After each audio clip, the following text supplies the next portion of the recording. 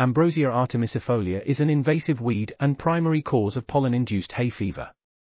Here, the authors report its chromosome-level phase genome assembly, examine genome-wide variation among modern and historic accessions, and identify large haploblocks underling rapid adaptation.